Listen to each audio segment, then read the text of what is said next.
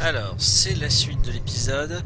Donc, je me suis cherché et trouvé un tableau euh, de... chiffres romains sur internet qui va m'aider à déchiffrer le message. Et entre temps, j'ai cogité, je me suis dit que l'autre papier, là où il n'y a pas les lettres en marron, faut forcément que je le passe à la bougie pour dévoiler les, les chiffres qui manquent dans la combinaison. Donc, je vais le faire de suite. Enfin, si j'y arrive. La chaleur de la bougie a fait apparaître des lettres écrites à l'encre sympathique. Et voilà, c'était sûr. Maintenant, je peux lier les deux papiers. J'ai la combinaison. Merde, euh, pardon, je fais des bêtises. Alors, je peux tout lire du message maintenant. On dirait du latin. Ah bon? Ah, Je pensais que c'était la combinaison du coffre. Je crois que ça veut dire j'ai vu bouger une paupière morte. J'ai vu bouger une paupière morte.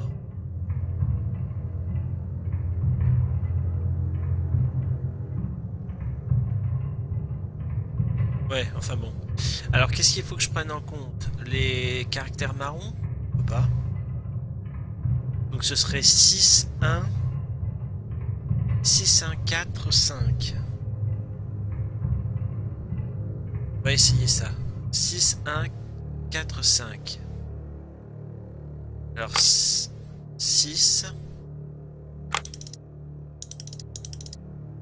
1, merde. 4. 5. Non.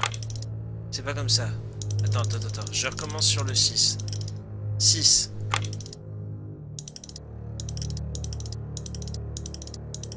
5.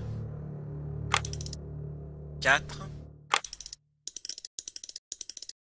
1. C'est pas ça.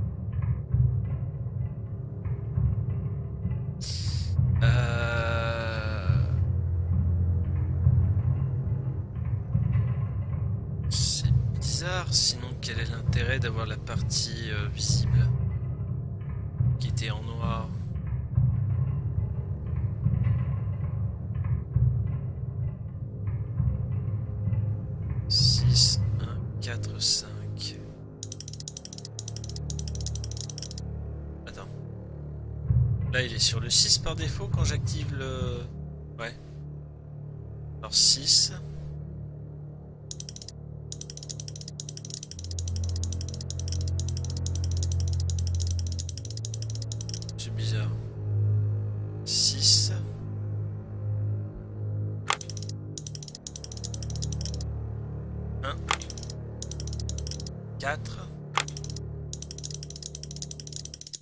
5. Ah, il fallait le faire dans le sens inverse. Voilà pourquoi.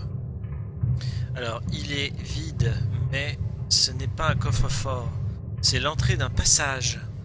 On n'y voit absolument rien. Le seul moyen de voir où ça mène, c'est pénétrer dedans.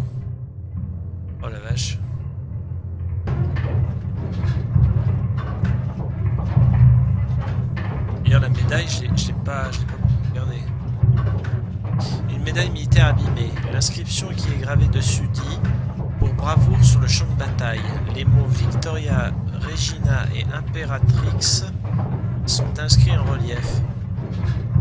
La médaille comporte aussi diverses pièces de métal avec des noms de bataille.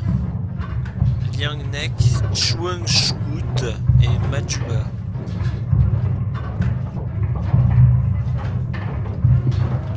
Alors des formules mathématiques écrites à la hâte et sans application. Je n'ai jamais vu certains de ces symboles. Une liste de nombres, on dirait une sorte de calendrier ou d'emploi du temps. C'est quoi cette machine? Quatre chaises disposées en cercle, comme si cette planque était une sorte de salle de réunion.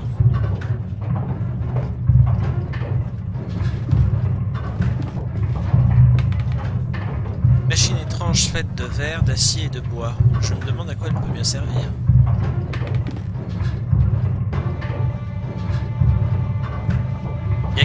Euh, Il y a quelqu'un assis ici.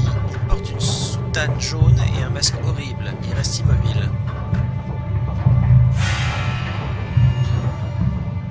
Ce n'est qu'une soutane jaune. Il n'y a pas de corps dedans. Qu'est-ce que ça peut bien vouloir dire?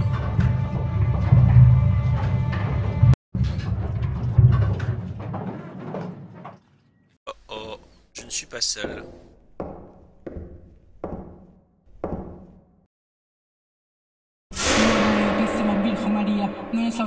secolo, quena dato corrente in prezia, tu imperante tu pretente in suffragia se delicta, confidencia te, virgo virginum, mater currimus, acte venimus, curande gementes pecatores assistinus, noli mater verbi, verba nostra descripcere, seo di propitia texauti, Le masque que j'ai découvert dans l'ancienne réserve de l'Alexandre Pré, il ressemble au masque utilisé dans le théâtre de la Grèce antique.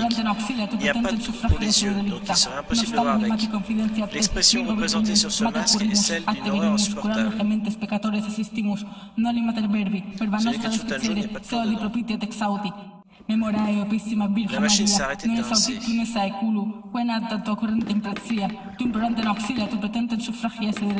Il y a trop de bavures, je n'arrive pas à lire ce qui est.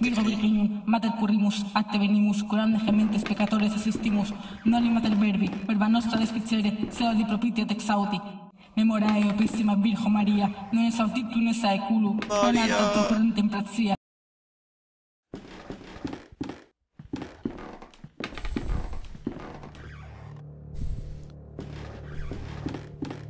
fait, son ancien appart, c'est une secte.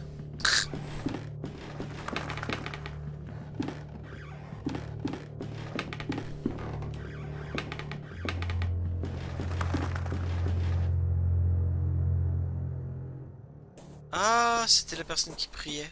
Bon,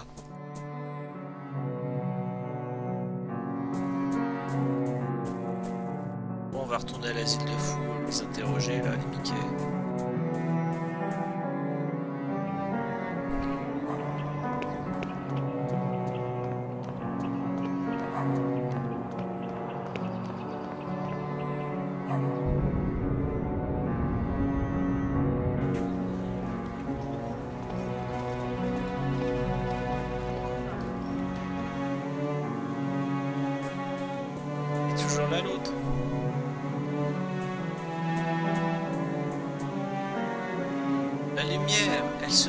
Elle répand son nom sur le monde.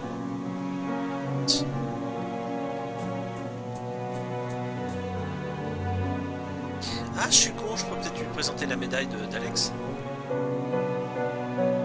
Bah non, il m'a dit qu'il était venu il y a pas longtemps, euh, qu'il sera à rien en fait. Il a l'air très occupé, mieux vaut pas le déranger sans raison. Mais non, je vais aller voir la, la femme là qui semblait s'exciter euh, dès que je disais de... je parlais de Monsieur Dupré.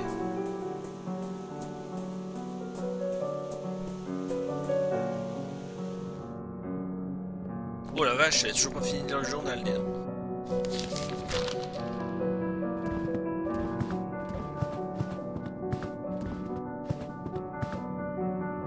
Euh, il la lâche pas, lui.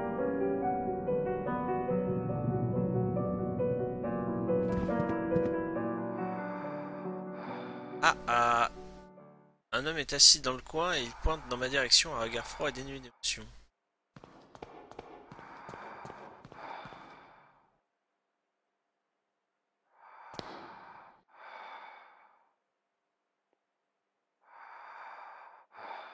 A la médaille. le truc qui a aucun sens.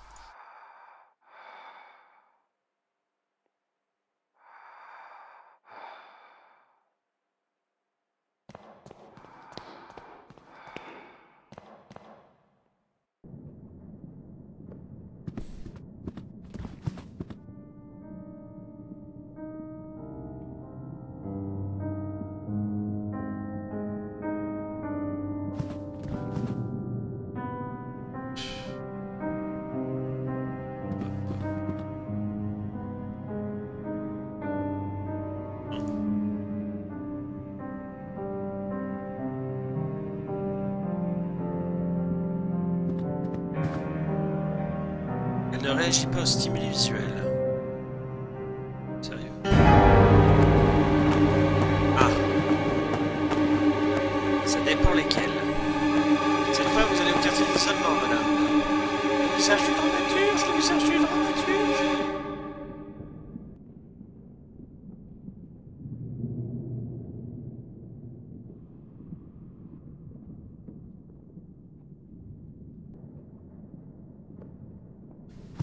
Et l'autre par... Euh... des hasards, il a bougé ou pas? Ah oui un homme frappe la vitre du poing. Son visage a une expression de haine pure. Je ne crois pas qu'il puisse me voir, mais j'ai l'impression qu'il sait d'une façon ou d'une autre que je suis là.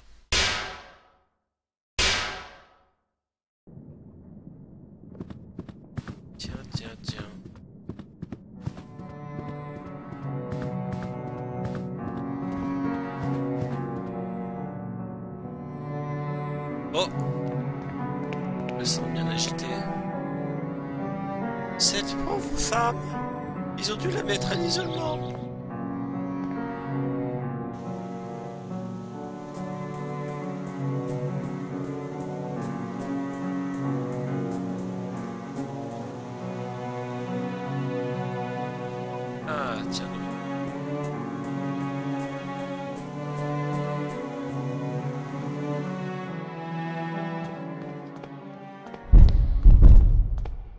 Alors, chambre 102A.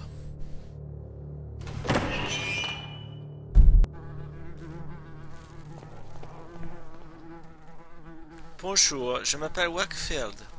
Le papillon n'est pas ce qu'il paraît. Ah oui, j'aime bien la déco de sa cellule. Excusez-moi, mais quel papillon? Il a plus après le scarabée.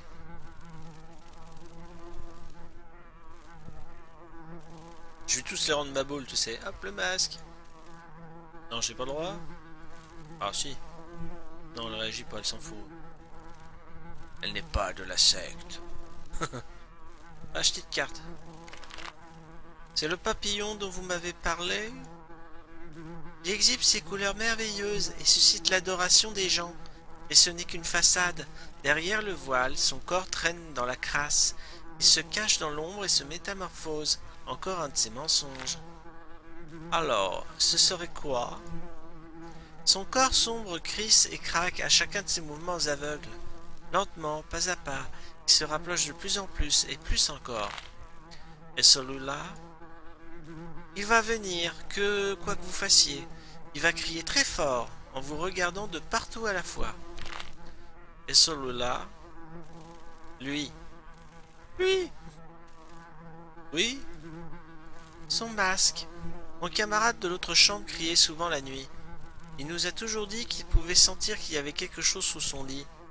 Quelque chose comme une présence, comme un regard sans œil. Et la médaille, non, ça lui dit rien. Ah. Un commentaire sur le déco de la cellule, peut-être. J'ai peut-être été trop hâtif. Non mais c'est stylé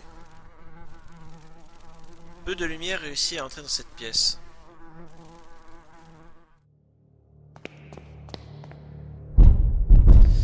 Alors, chambre 104A.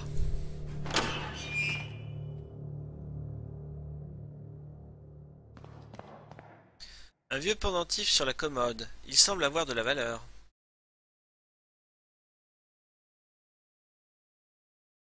Un vieux pendentif en argent terni. Ouais.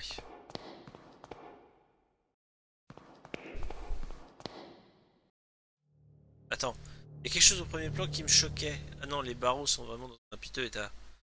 Mais bon, d'accord. Ça va se demander si certains patients ont pas essayé de les ronger. Alors, chambre 106A. Tiens, voilà une chambre d'isolement qui est déjà plus agréable. Un meuble qui semble avoir de la valeur, il n'y a rien dessus. Une toile impressionnante représentant une jeune fille charmante, elle est encadrée de façon magnifique. Un miroir couvert de poussière, je me demande quelle scène il a pu refléter dans cette pièce. Est-ce que c'est la chambre du camarade de la patiente, celui qui avait peur d'une présence sous le lit? Tss, trop drôle.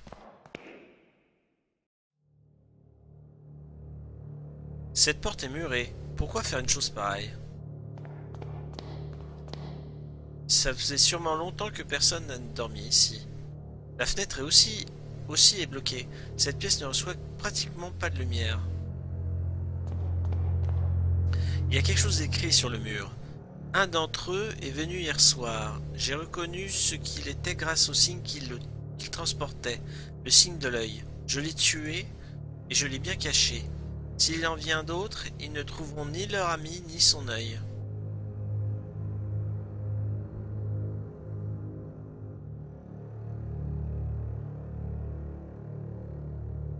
Eh, on va mettre le feu. ouais, bizarre.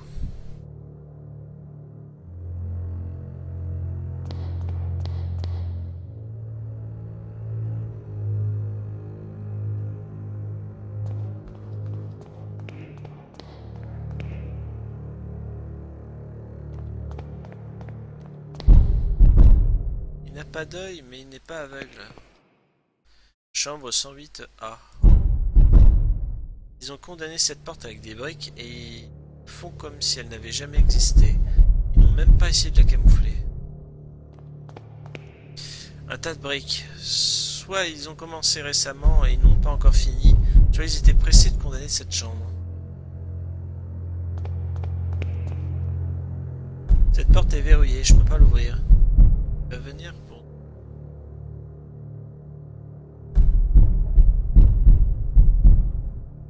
Pas fusionner le pendentif et le son de métal. Le dramaturge Chambre d'isolement.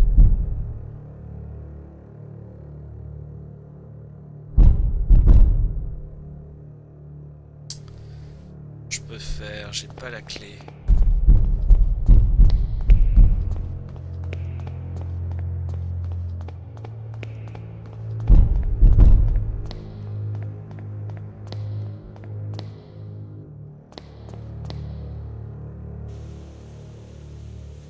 Peut-être parler, c'est peut-être des choses.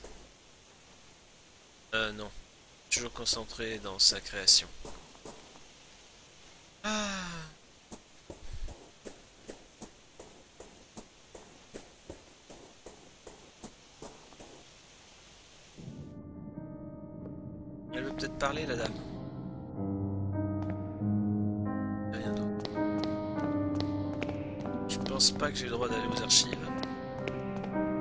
S'en fout.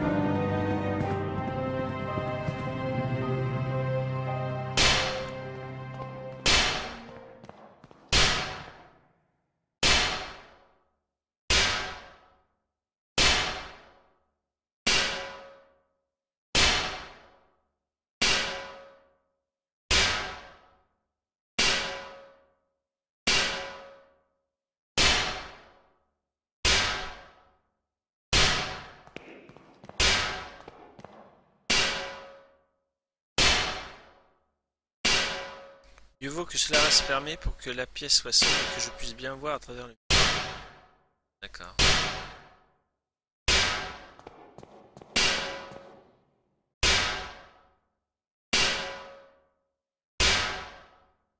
Euh, là, je commence à tourner en...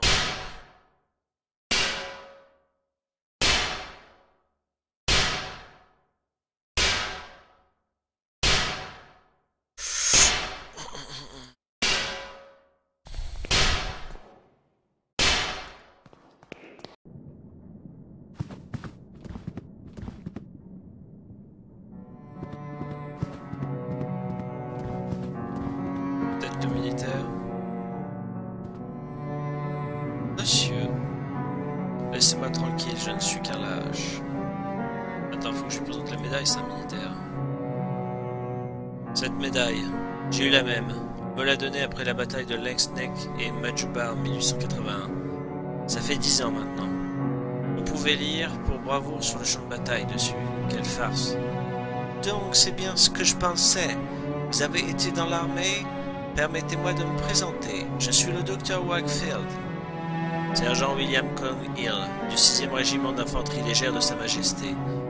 Vous êtes aussi un de ces aliénistes Vous autres docteurs, vous n'avez pas conscience que la lâcheté ne peut être guérie par votre art Pourquoi ils vous gardent ici? Les docteurs disent que je souffre d'un trouble nerveux. Je crois que c'est un terme qu'ils utilisent quand eux-mêmes, malgré toute leur science, toute leur science, ils ne savent pas quoi dire. Mais je connais le vrai nom de ma maladie, c'est la lâcheté absolue. Je suis à la recherche d'un patient de cet hôpital. Vous l'avez peut-être rencontré. Il s'appelle Alexandre Dupré. Oui, j'ai rencontré un homme qui portait ce nom. J'ai eu l'occasion de le connaître un peu. Il était là quand je suis arrivé.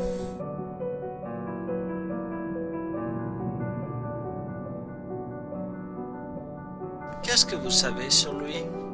C'est un homme correct, qui avait de l'instruction. Il écoutait attentivement les histoires des autres internés, et il ne parlait jamais de lui-même. On discutait beaucoup tous les deux. Il était aussi très proche de mademoiselle Cohn. Je crois qu'ils sont arrivés ici en même temps. Mais quand il est parti, il est parti tout seul. Je me demande ce qu'il est devenu depuis.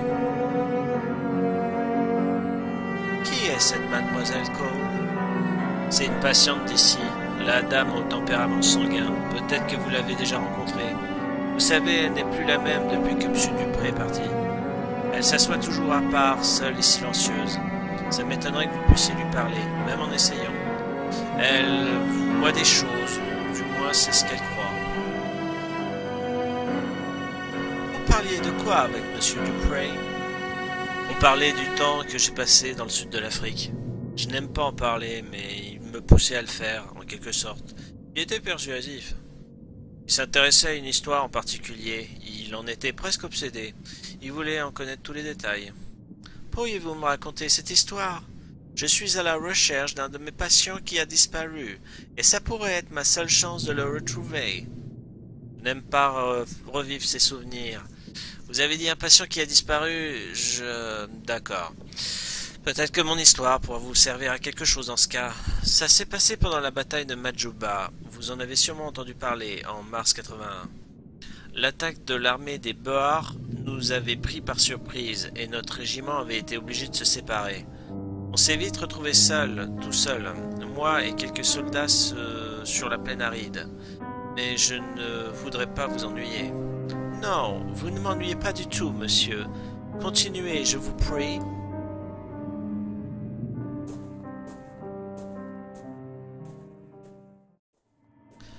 Comme je l'ai déjà dit, on était peu nombreux. On était sûr que l'ennemi nous avait tendu une embuscade dans les parages.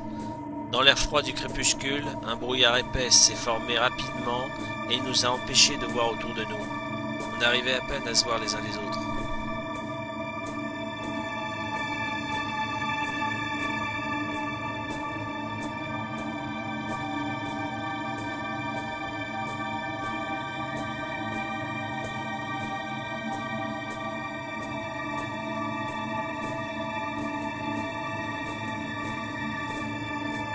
Ensuite, les autres ont commencé à disparaître dans le brouillard, qui devenait de plus en plus épais. J'ai continué d'entendre leur bruit de pas pendant un certain temps. Mais ça va trop vite Attends, j'ai pas le temps de lire. Ah merde, j'ai pas le temps de lire Con, fallait que je m'arrête. On va faire un arrêt sur image, là, ça va pas. J'ai senti une présence dans le brouillard, pas très loin. Mais, mais, ça va beaucoup trop vite c'est mal programmé, j'ai cliqué sur rien du tout, il me sucre le texte, ça va pas.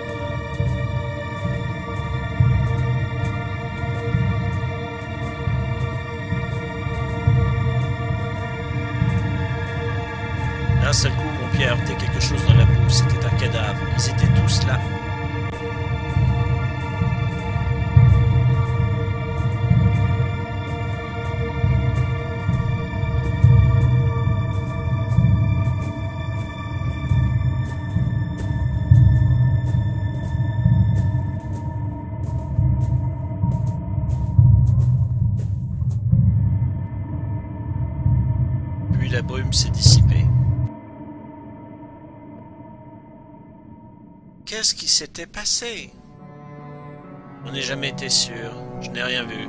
Si j'ai vu quelque chose, mon esprit a refusé de le garder en mémoire. Qu'est-ce qui est arrivé au Captain Skid Quand il a fini par revenir à lui, c'est comme si quelqu'un d'autre nous regardait en utilisant ses yeux. J'imagine que ce qui s'est passé l'a affecté, changé. Je sais qu'il est revenu à Londres. Monsieur Dupré m'a demandé où le trouver. Peut-être qu'il a essayé de le contacter pour connaître le reste de l'histoire. Ça le tracassait beaucoup. Hmm. Vous savez où je peux trouver le capitaine Skid? D'après les dernières nouvelles que j'ai eues de mes amis anciens combattants, il s'est lancé dans une débauche d'alcool, d'opium et de mauvaise fréquentation.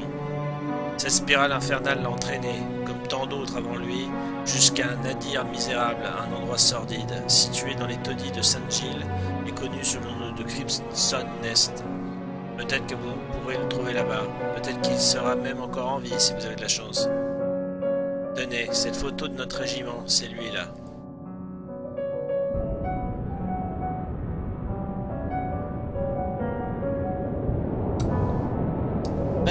J'ai l'impression que les épisodes sont plus longs là. Par rapport à, la première saison. Tant mieux. Que ça. Je me régale. Une photographie montrant des soldats pendant la guerre des Boers. Le sergent Hill et le capitaine Skid figurent parmi eux.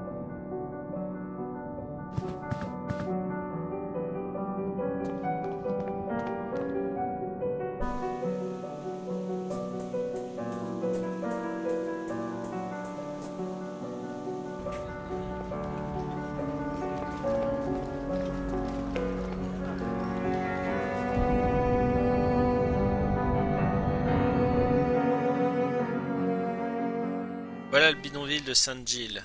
Le Crimson Nest ne doit pas être bien loin.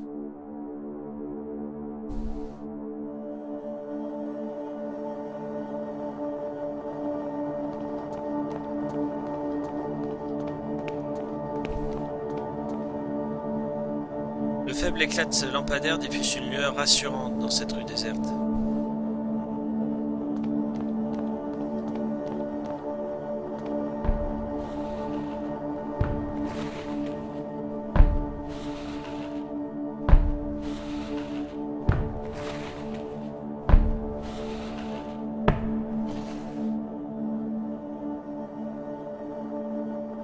Cet homme, il ressemble à celui que je vois dans mes cauchemars.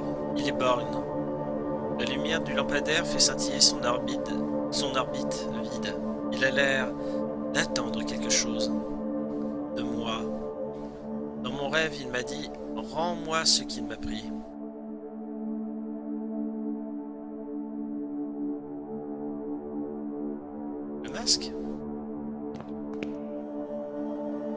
S'est intéressé au masque qu'un instant, avant de me fixer de nouveau du regard.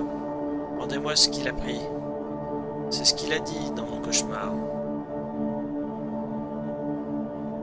Pendentif. Continue de me fixer du regard, il n'a pas l'air intéressé par le pendentif. Voilà. La photographie? Il ne ressemble à aucune des, aucune des personnes sur cette photo. Ça m'étonnerait qu'elle lui ait jamais appartenu.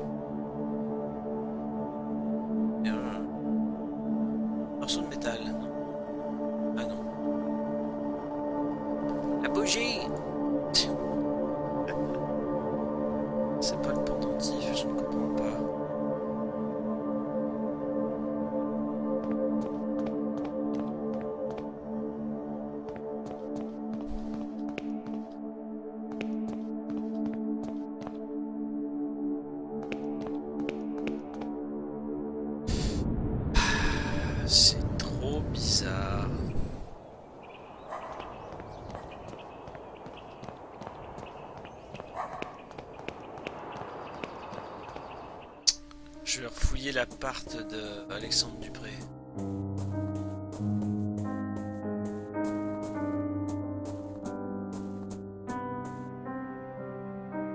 Moi, ce qu'il m'a pris. De quoi il parle?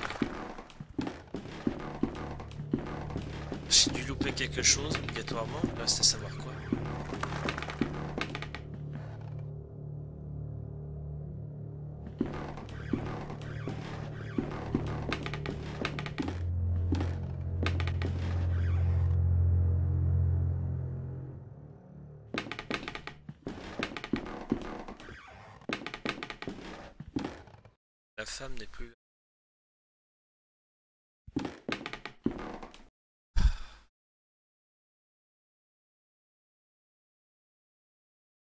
De métal pendentif, non ça sert à rien. Chine s'est arrêtée c'est...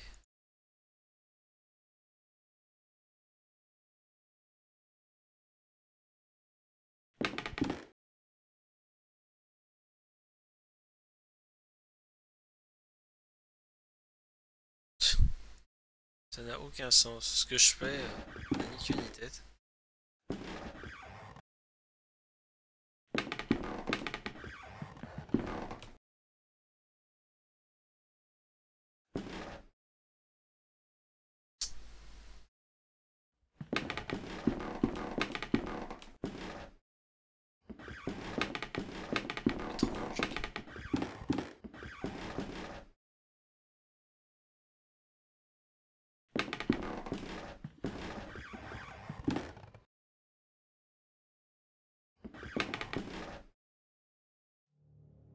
Oui, je l'avais déjà lu ça.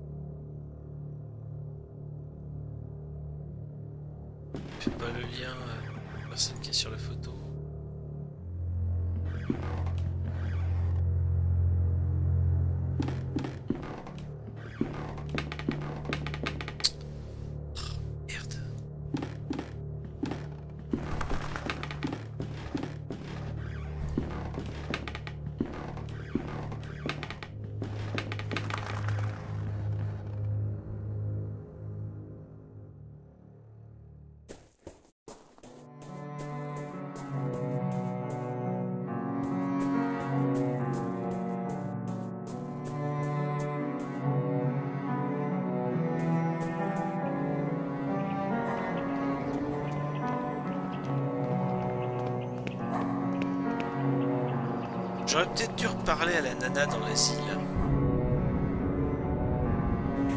Celle à qui j'ai fait le test des images là. Euh. Non. J'avance bêtement, mais. Pardon. J'avance bêtement, mais en même temps je réfléchis. J'essaie de...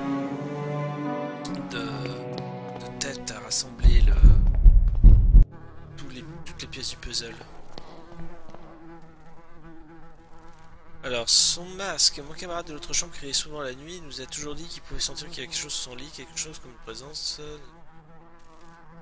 Non, la photographie, elle l'a pas vue. S'en fout, elle connaît pas. Pendentif, non. Le masque, elle m'a déjà répondu. La bougie, elle aime la bougie. Le morceau de métal, est-ce qu'elle aime le morceau de métal? C'est débile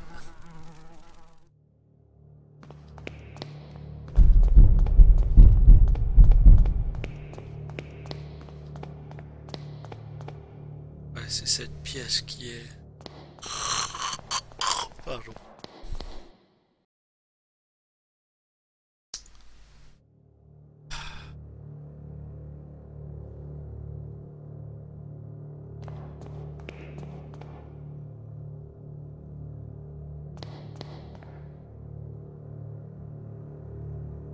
Oh, un d'entre eux est venu hier soir, j'ai reconnu ce qu'il était grâce au signe qu'il transportait, le signe de l'œil.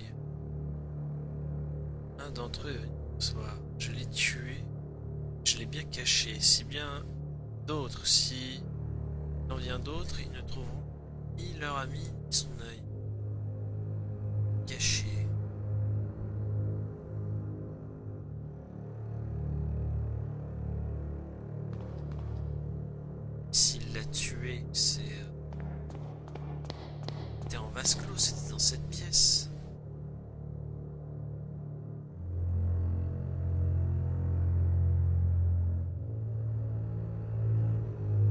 Ça c'est pour c'est la sortie.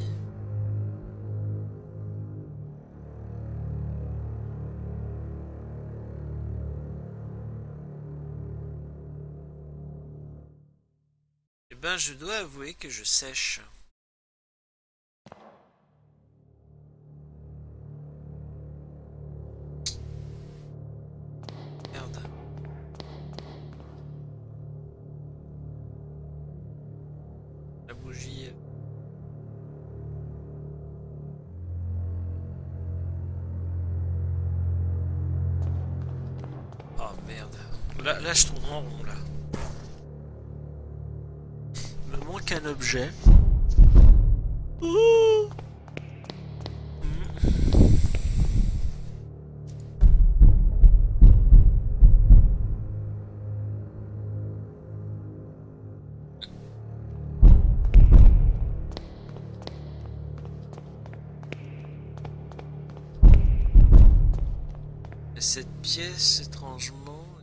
Cellule classique.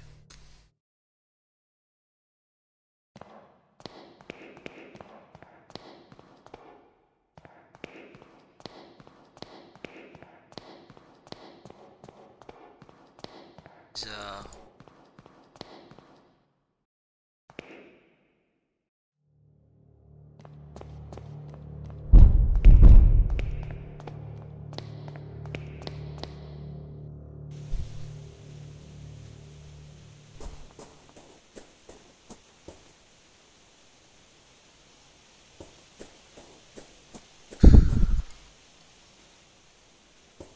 Qu'il faut que je reparle au militaire et que je lui dise que j'ai croisé un mec euh, je, vois, pas comment faire autrement. Elle a toujours le même dialogue.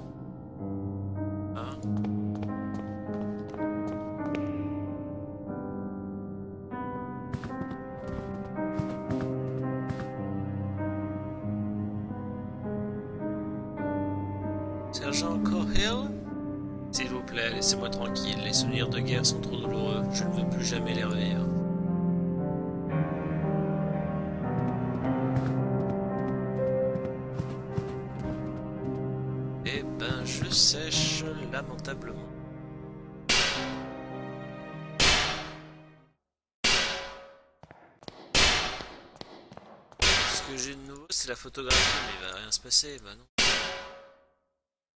Pendentif, non, je l'ai pas fait.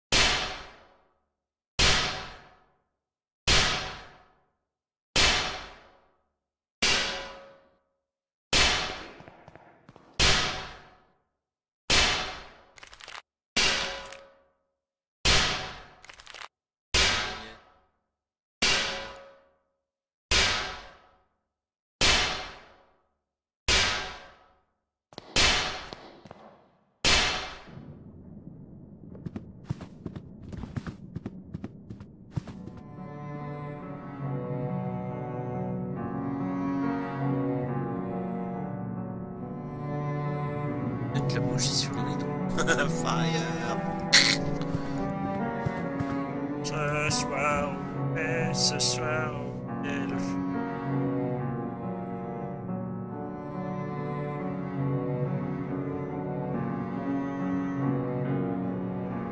J'ai un morceau de métal, c'est qui sert obligatoirement à quelque chose. Merde, mon truc qui se barre. Si j'ai un morceau de métal, c'est qu'il sert forcément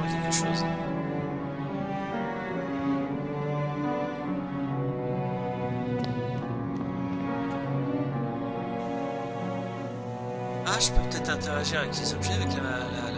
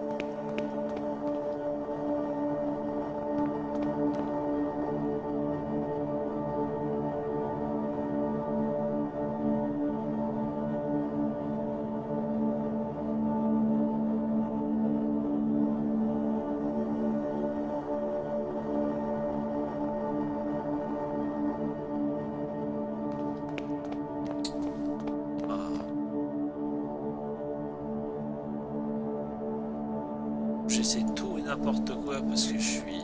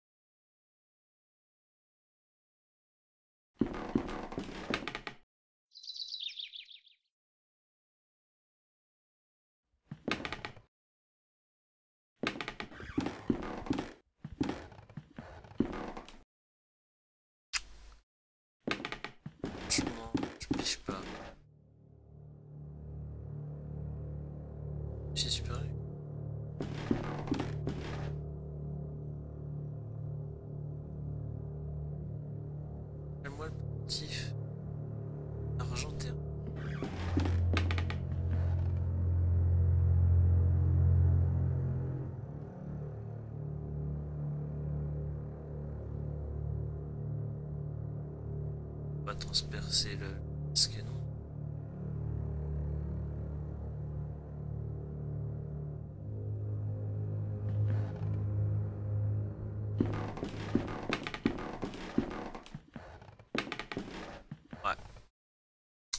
Bon, bah je m'avoue vaincu. Je vais m'arrêter là. De toute façon, je meurs de faim. Il est midi. Euh, suite au prochain épisode, une fois que j'aurai réfléchi à tout ce que j'ai fait. À mon avis, je vais remater mon ralenti pour euh, faire le lien entre tout. I pre-